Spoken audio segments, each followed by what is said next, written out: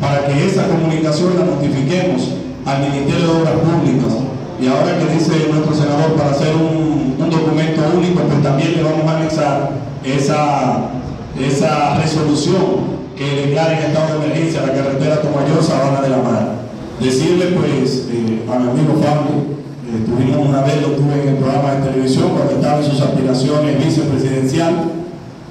decirle que ciertamente, como dice la arquitecta Aura Saldaña, la ley 176-07, en las atribuciones que corresponden a los ayuntamientos,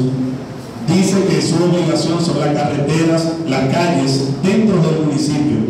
Y le agrega un párrafo donde dice que las carreteras intermunicipales que conectan una ciudad con otra, lo que es la iluminación, reparación, acondicionamiento y asfaltado de la misma o limpieza, corresponde al Ministerio de Obras Públicas. Estamos haciendo lo propio juez que tiene un mes de ser alcalde del Valle, lo estamos haciendo nosotros que también cumplimos un mes, por lo menos en nuestras entradas estamos haciendo esa limpieza.